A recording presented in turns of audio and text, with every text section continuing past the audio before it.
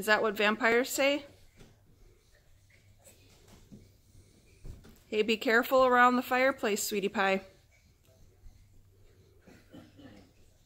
What does a vampire say? you say happy Halloween? Happy Halloween! Are you going trick-or-treating tonight? Yeah! Are you excited? Yeah!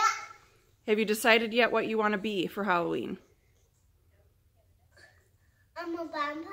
So you do you want to be a vampire? Because you also said a Frankenstein, and then you also said a dinosaur. I didn't say I didn't.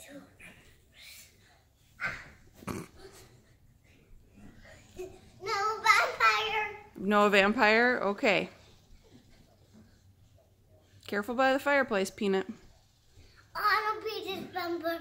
I'm going trick or.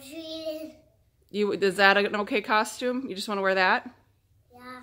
Okay. Well, it's, it'll be warm.